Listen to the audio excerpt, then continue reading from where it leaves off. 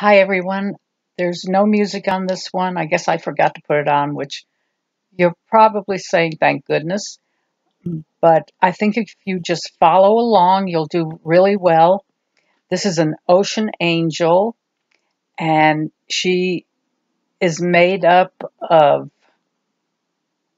oh gosh,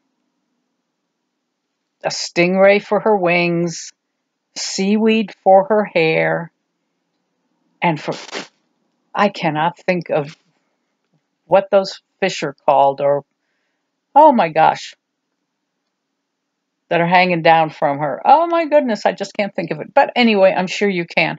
This is silly. I can't think of it. I may just have to turn this off and look it up. Okay, let's stop. Okay, as soon as I stopped the recording, I knew they were jellyfish.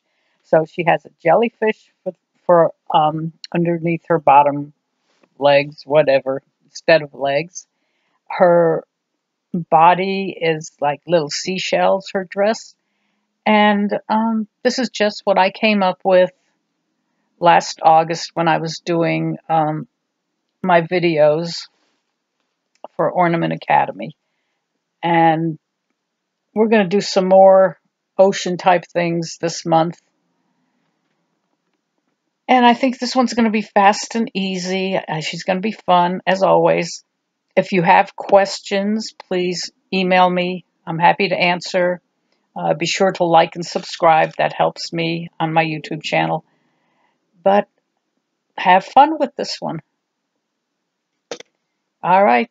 See you next time around.